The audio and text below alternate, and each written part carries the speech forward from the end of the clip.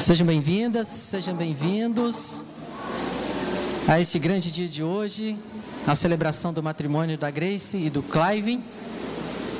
Então, a você que veio de outras comunidades, de outras paróquias, sinta-se em casa. Você que é meu, nosso irmão de uma outra comunidade evangélica, também sinta-se em casa. Aqui formamos uma grande família. E queremos celebrar bem esse dia, né? um dia muito agraciado por Deus. Hoje celebra conosco o Padre Diego Carvalho, que é da paróquia lá de Alfredo Chaves. Veio celebrar conosco. Então, Padre Diego, bem-vindo também. Para quem não conhece, né, é o nosso, foi o nosso pastor aqui da paróquia Jesus Libertador. Então, mais uma vez, Sintam-se em casa e bem-vindo a todos para este grande dia de hoje.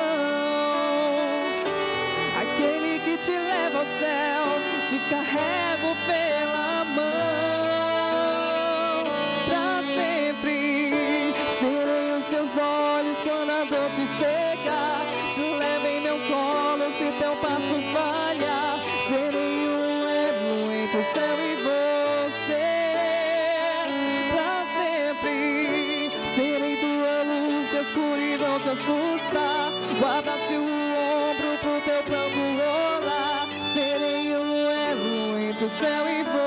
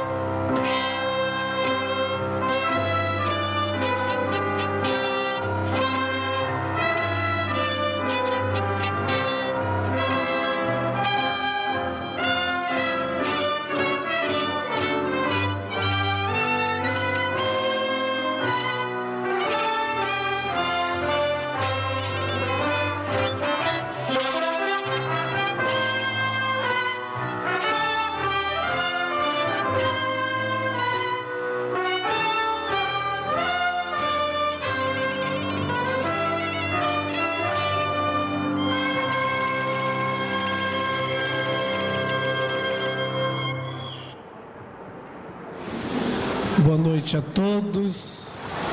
Boa noite a todos. Vamos iniciar este casamento em nome do Pai, do Filho e do Espírito Santo. Amém. A graça de nosso Senhor Jesus Cristo, o amor do Pai e a comunhão do Espírito Santo esteja sempre convosco. Para a celebração deste casamento, meus queridos irmãos e irmãs, felizes aqui nos reunimos na casa do Senhor, no dia em que estes nossos amigos e irmãos, Cleive e Gleice, resolveram estabelecer diante de Deus o seu novo lar. Para eles, este momento é um momento de muita importância, por isso nós vamos acompanhá-los com a nossa oração fraterna. Unido a vocês dois, ouviremos as palavras que Deus nos dirige esta noite aos nossos corações e depois vamos pedir a Deus que, por meio da igreja, nossa mãe, possa abençoar, acolher e manter sempre unidos os corações de vocês, como Ele trouxe aqui esta noite. Oremos. Atendei, Senhor, as nossas súplicas e assisti benigno a esta instituição sagrada, pela qual quisestes a propagação do gênero humano, de todo o bem, para que estes vossos filhos, Cleive e Gleice, possam receber de vós o amor sincero e a constância nos momentos difíceis da vida. Por Cristo nosso Senhor. Agora nós vamos acolher a palavra de Deus.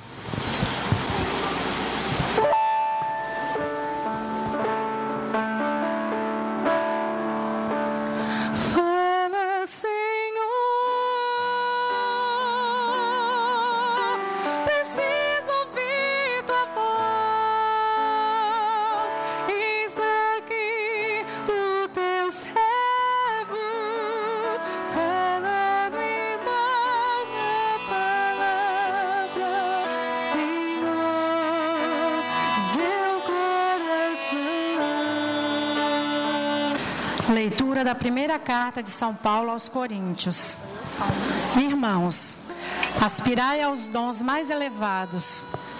Eu vou ainda mostrar-vos um caminho incomparavelmente superior. Se eu falasse todas as línguas aos homens e a dos anjos, mas não tivesse caridade, eu não seria como um bronze que soa ou um símbolo que retine. Se eu tivesse o dom da profecia, se conhecesse todos os mistérios e toda a ciência, se tivesse toda a fé a ponto de transportar montanhas, mas se não tivesse caridade, eu não seria nada. Se eu gastasse todos os meus bens para sustento dos pobres, se entregasse o meu corpo às chamas, mas não tivesse caridade, isso nada me serviria. A caridade é paciente, é benigna, não é invejosa, não é vaidosa, não se ensoberbece, não faz nada de inconveniente, não é interesseira, não se encoleriza, não guarda rancor, não se alegra com a iniquidade, mas se regozija com a verdade, suporta tudo, crê tudo, espera tudo, desculpa tudo. A caridade não acabará nunca. Palavra do Senhor.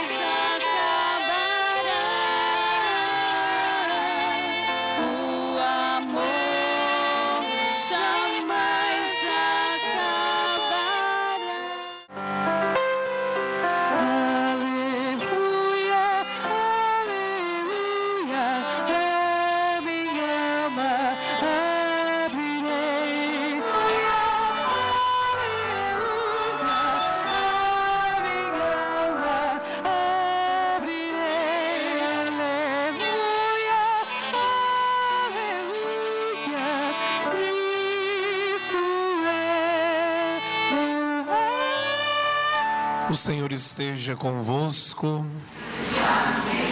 Proclamação do Evangelho de Jesus Cristo segundo São Mateus. Naquele tempo disse Jesus a seus discípulos: Nem todo aquele que me disser Senhor, Senhor, entrará no reino dos céus, mas o que põe em prática a vontade do meu Pai que está nos céus. Portanto, quem ouve estas minhas palavras e as põe em prática é como um homem prudente que construiu a sua casa sobre a rocha. Caiu a chuva, vieram as enchentes, os ventos deram contra a casa, mas a casa não caiu porque estava construída sobre a rocha. Por outro lado, quem ouve estas minhas palavras e não as põe em prática é como um homem sem juízo que construiu a sua casa sobre a areia.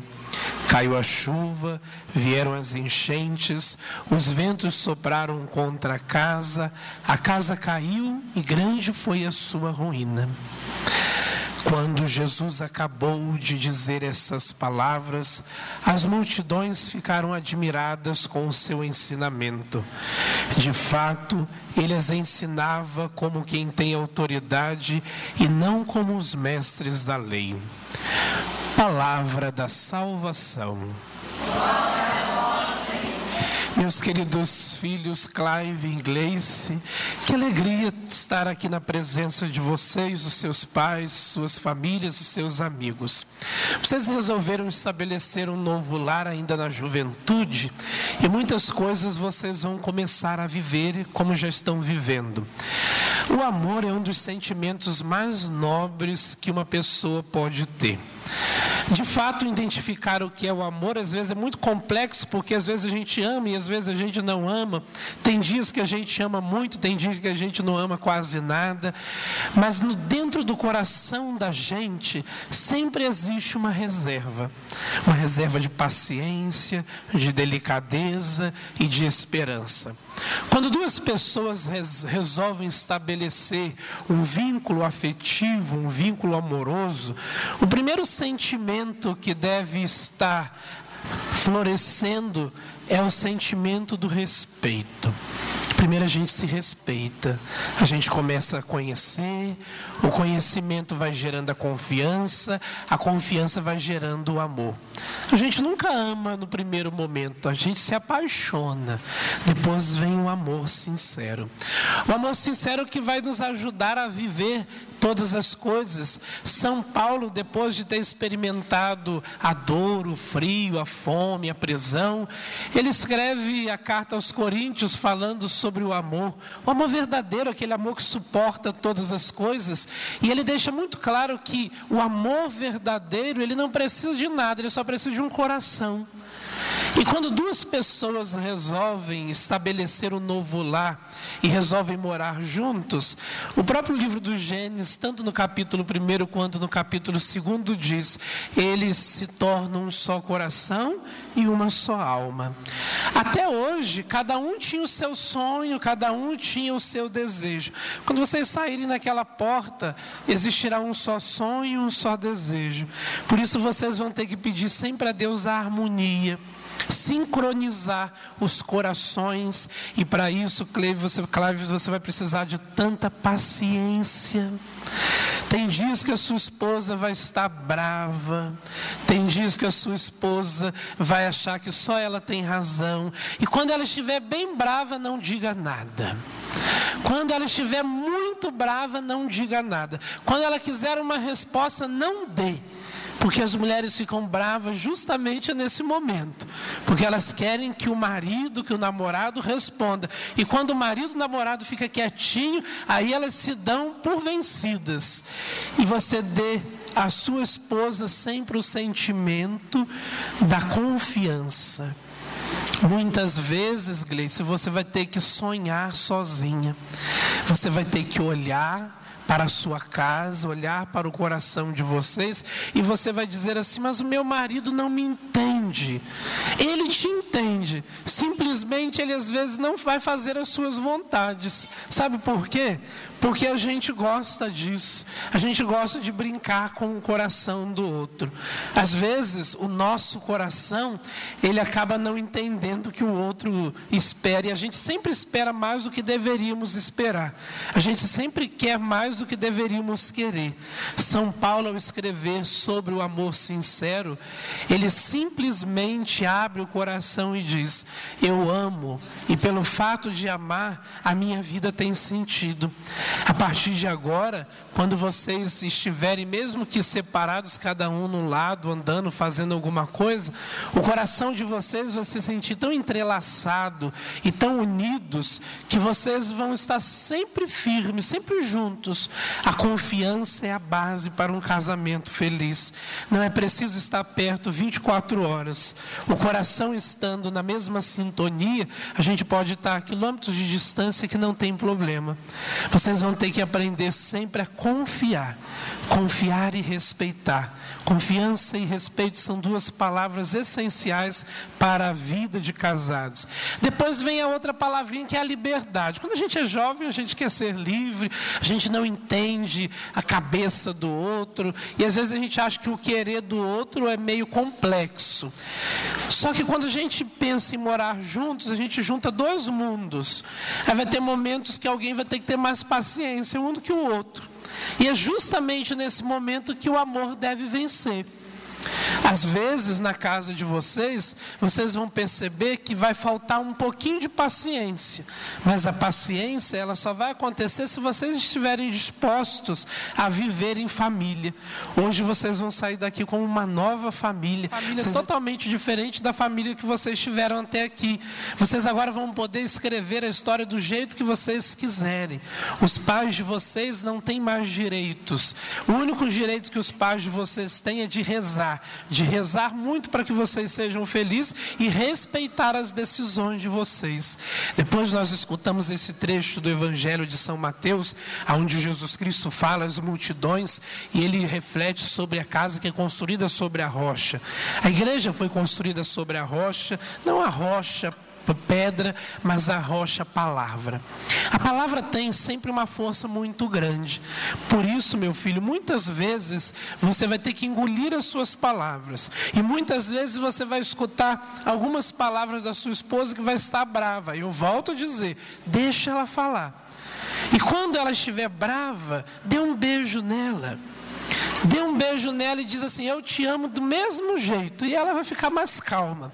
Você, minha filha, você é a parte pensante e a parte sentimental do casamento. A mulher tem um dom esplêndido de saber florear todas as coisas, de saber fazer com que as coisas tenham mais sentidos. Nas mínimas coisas, faça o seu marido feliz. Nas mínimas coisas, faça com que o seu marido tenha desejo de voltar para casa e encontrar com você. Nas mínimas coisas, faça com que a vida do seu marido seja a vida mais feliz do mundo. E se você fizer o seu marido feliz e o seu marido estiver, feliz, vocês serão felizes para sempre. É claro que a gente tem aqueles momentos que a gente não está muito bem, e nos momentos que vocês não estiverem muito bem, reserve um cantinho na casa, coloque um som, escute aquelas músicas que vocês mais gostam e deixe as coisas acontecerem. Não que a gente corra da realidade, mas que a gente saiba esperar o tempo de todas as coisas.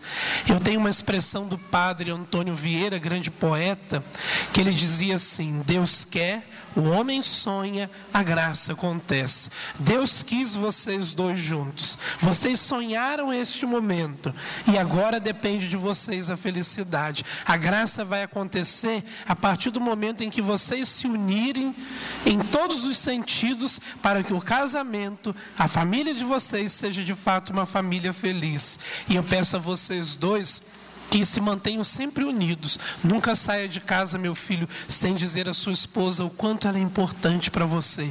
E nunca saia de casa, minha filha, sem dizer para o seu esposo o quanto ele é importante para vocês. E deixem o coração de vocês sincronizados, na mesma sintonia e no mesmo ritmo. Amém? Vocês não estarão sozinhos, é claro. Nós vamos estar de longe ou de perto, mas nós estaremos sempre rezando e acompanhando. Na nossa vida tem sempre os nossos parentes, aqueles que cresceram conosco, aqueles que nos acompanharam, e tem os nossos amigos também. E neste momento eu convido a vocês a olhar para os amigos de vocês, os parentes que vieram. Uma salva de palmas para todos que vieram, sejam bem-vindos.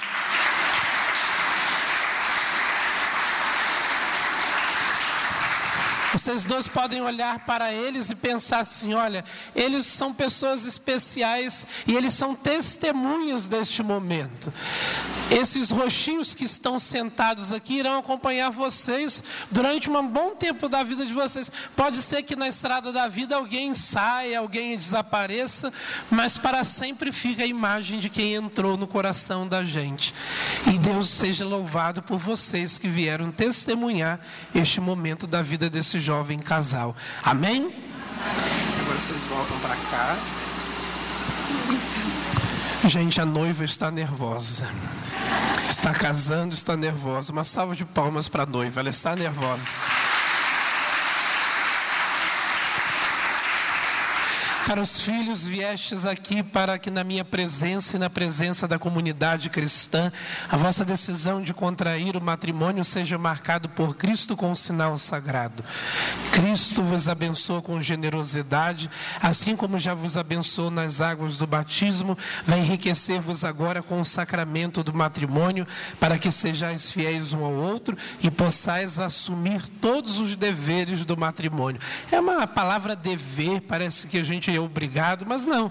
A palavra dever compromisso. A gente tem um compromisso quando a gente decide viver do lado de uma pessoa. O primeiro compromisso é ser feliz e fazer a outra pessoa feliz. E vocês são tão jovens e que vocês aprendam a felicidade juntos, nas mínimas coisas. Nunca deixe de brincar com a sua esposa, nunca deixe de brincar com o seu esposo. Faça da casa de vocês uma casa feliz. Caros noivos, viestes aqui para unir-vos em matrimônio, por isso eu vos pergunto diante da comunidade cristã: é de livre e espontânea vontade o que vocês estão fazendo? Sim. Sim. Eles terríveis, né? Abraçando o matrimônio, ides prometer amor e fidelidade um ao outro, é por toda a vida que vocês prometem? Sim. Sim. Estão de olho em vocês dois. Estáis dispostos a receber os filhos que Deus vos confiar, educando-os na lei de Deus e da igreja? Sim. Sim. Perguntei se eles são flamenguistas, são corintianos, não sei de onde, né? Capixaba corintiano é, é melhor do que ser vascaíno, né? Graças a Deus, né? O padre é flamenguista, graças a Deus, né? O Vasco, não, vamos melhorar, né? O Vasco tem uma coisa boa que é a Cruz de Malta. Não. Hoje me perguntaram assim, quando joga Vasco e Flamengo, o que, que eu sinto? Uma alegria de ser o Vasco sempre o nosso vice, né? Então a gente sempre fica feliz. Eu queria um dia assistir um jogo do Corinthians com vocês dois em São Paulo. Será uma oportunidade muito boa. Para manifestar o vosso consentimento em selar a sagrada aliança do matrimônio diante de Deus e de sua igreja, dai um ao outro a mão direita. Eu, Clive, Te recebo, te recebo, Grace, minha esposa, por minha esposa. E te prometo ser fiel, amar-te, respeitar, respeitar-te, alegria da doce, na alegria e da destreza, saúde e na doença, na saúde e na doença, todos os dias de nossas vidas. Todos os dias de nossas vidas. Amém.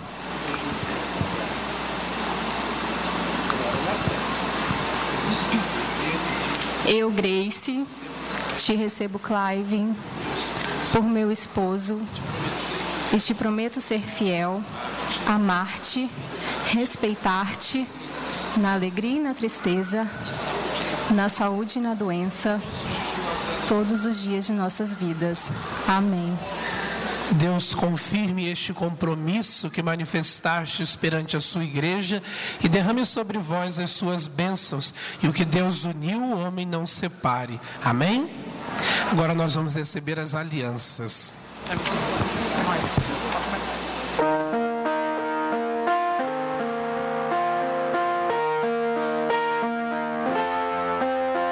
Teus pais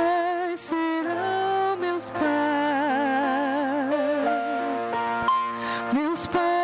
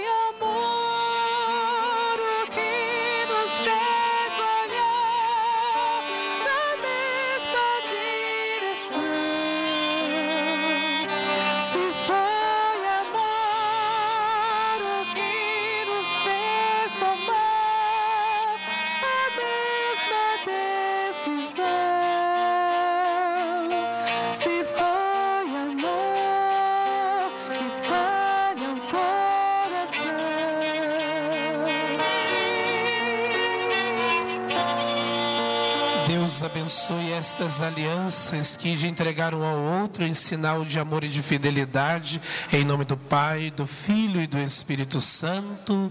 Amém. Nessa mãozinha aqui, ó.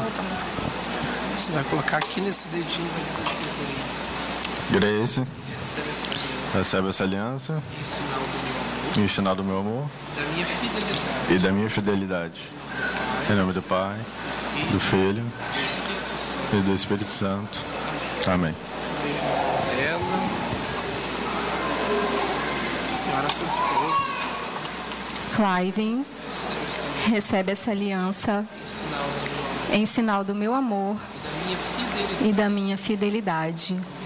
Em nome do Pai, do Filho e do Espírito Santo. Amém. Arruma aliança, Clive. Deus confirme este compromisso e que essas alianças possam sempre recordar o amor, mesmo quando vocês não estiverem perto fisicamente, mas que os corações estejam sempre unidos em nome do Pai, do Filho e do Espírito Santo. Amém. Agora nós vamos fazer as preces da comunidade. por estes novos esposos, Clive e Grace, e pela felicidade de nossa família e da nova família deles, rezemos ao Senhor.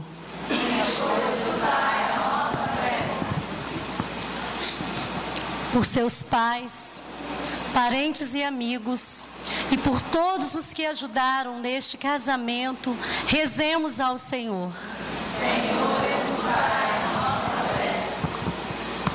Por todos os membros de nossas famílias que já partiram deste mundo e por todos os falecidos, rezemos ao Senhor.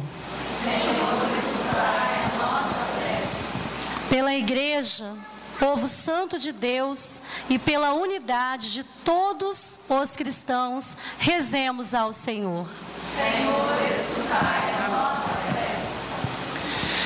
Esse momento é o momento da, da oração nupcial, a bênção nupcial, que é a bênção mais importante do dia do casamento. E eu gostaria que todos ficassem de pé para que num só coração e numa só alma nós pudéssemos pedir a Deus que abençoe o coração de vocês dois e que vocês dois possam ser firmes neste compromisso que agora diante de Deus se estão firmando. Ó Deus, vós unis a mulher ao seu marido e dais a essa união estabelecida desde o início a única bênção que não foi abolida nem, pelo, nem mesmo pelo castigo do pecado original e nem pela condenação do dilúvio. Volvei o vosso olhar de bondade sobre estes vossos filhos que, unidos pelo vínculo do matrimônio, esperam ser fortalecidos pela vossa bênção.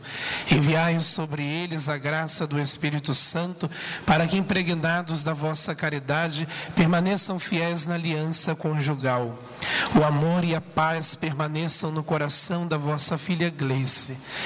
E ela busca o exemplo das santas mulheres exaltadas com louvores das sagradas escrituras. Nela confia o coração do seu marido Clive, que ele saiba honrá-la e respeitá-la, assim como Cristo amou e respeitou a sua igreja, e após uma vida longa e feliz possam receber de Deus a bênção necessária. Animados pela força do Evangelho, sejam entre todos verdadeiras testemunhas de Cristo, sejam eles fecundos em filhos, pais de comprovada virtude, e possam ver vivos os filhos dos seus filhos, e enfim, após uma vida longa e feliz, alcancem o reino do céu e o convívio dos santos. Por Cristo nosso Senhor. Pai nosso. Um dia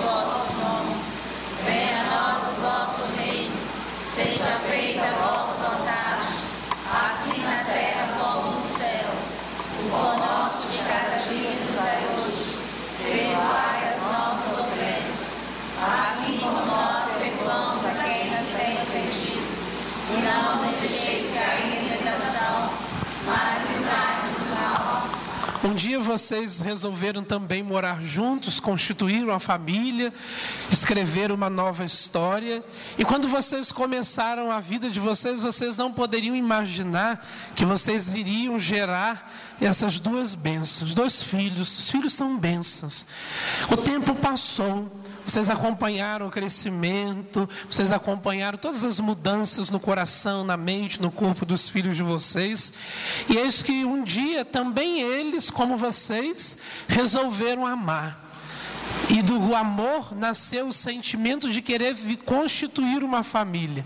Nesta noite, vocês devem dizer a Deus muito obrigado pela vida que vocês viveram até aqui, pelos filhos maravilhosos que vocês têm e por hoje está constituindo uma nova família.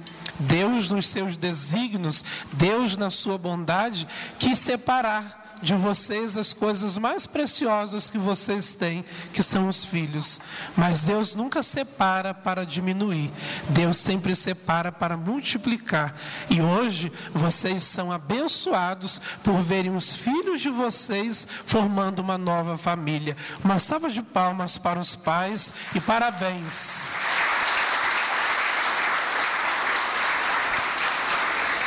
E agora eu peço aos pais que cumprimente os seus filhos, porque agora eles já são uma nova família. Eu vos declaro marido e mulher em nome do Pai, do Filho e do Espírito Santo. Amém. Podem cumprimentar os filhos de vocês.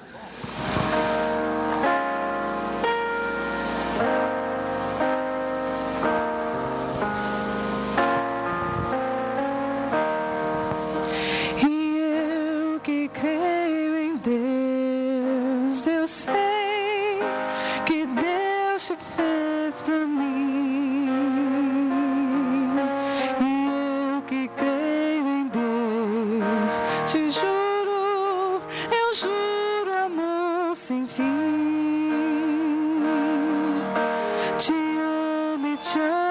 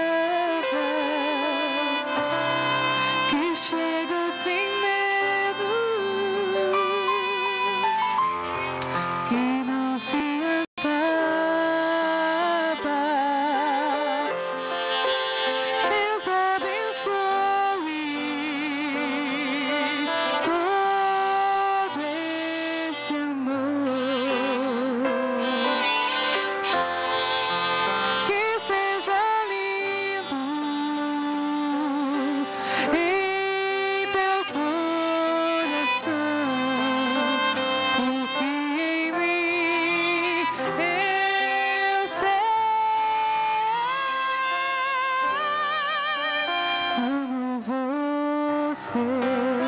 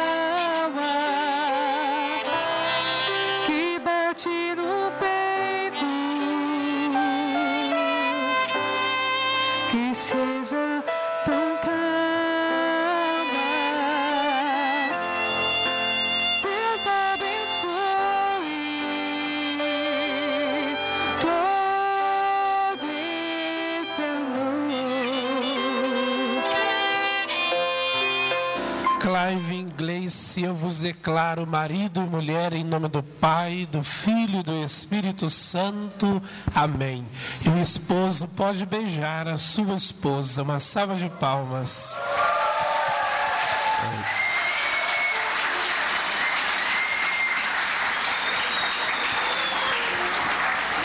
Beija mais, vocês beijaram tão pouco.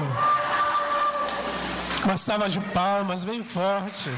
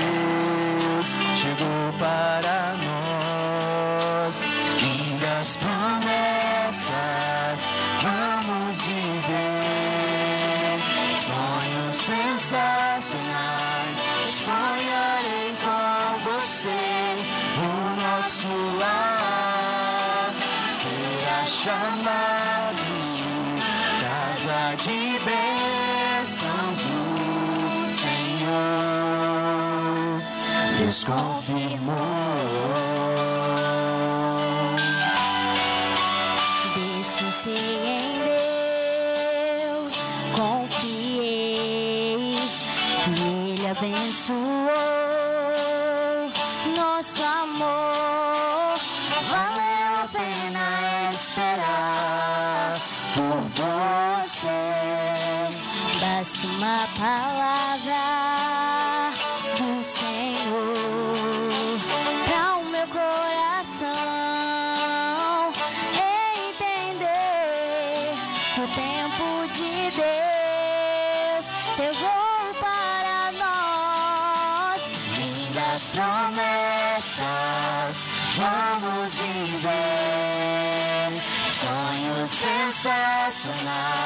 eu sonharei com você. O nosso lar será chamado casa de bênçãos do Senhor. Deus confirmou.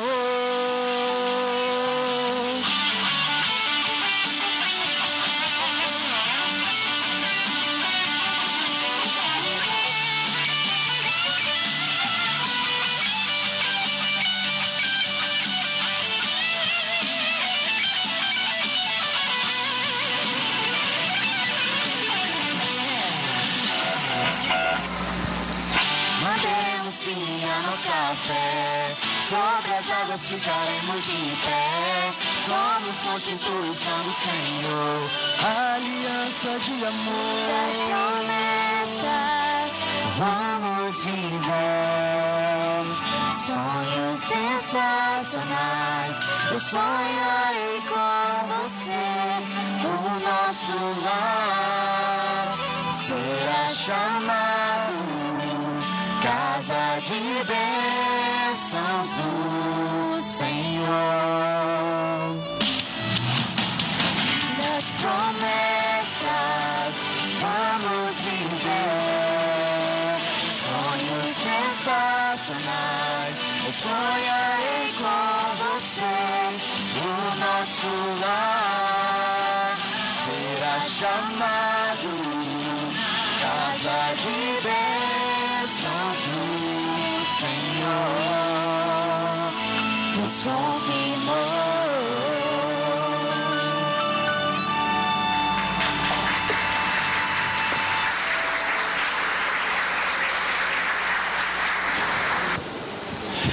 Deus possa abençoar a vida, a casa de vocês.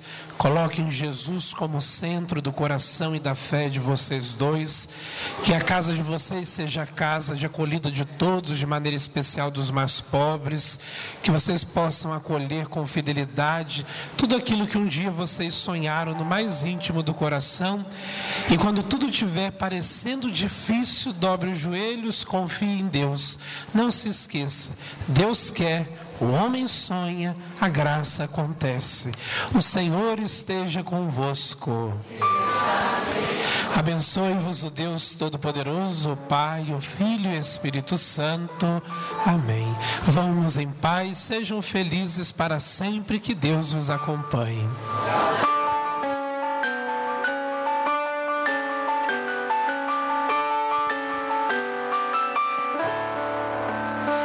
Descansei